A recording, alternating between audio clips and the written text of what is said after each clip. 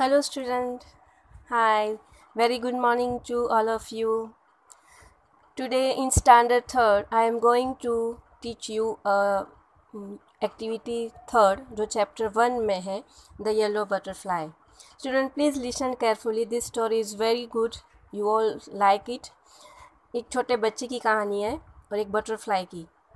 तो please listen carefully a yellow butterfly flew around in Sonu's garden. Sonu saw the butterfly. He ran to catch it.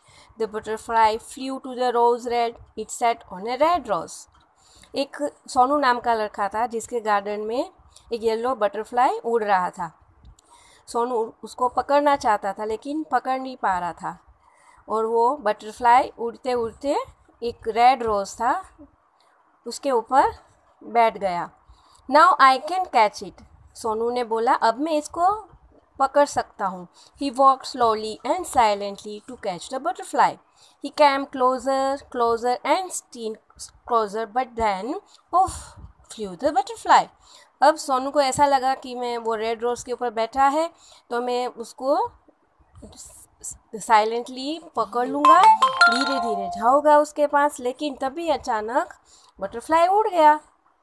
Where did the butterfly go Near the garden was a pond. In the pond was a white lotus.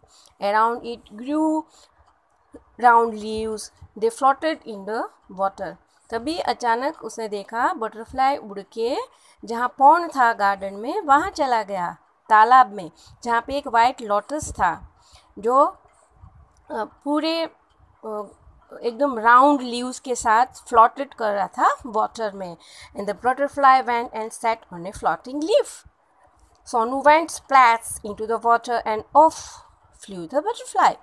Sonu फिर से उसको पकड़ने के लिए जैसे ही pond के पास गया। तभी अचानक फिर से बटरफ्लाई उड़ गया। Where was it Sonu looked up he look down near the wall was a champak tree it had white flowers and the butterfly sat on a pretty flower तभी उसने देखा कि वहाँ पे एक चंपक ट्री था, उसके ऊपर वाइट फ्लावर्स आए थे, उसके ऊपर वो बैठा था।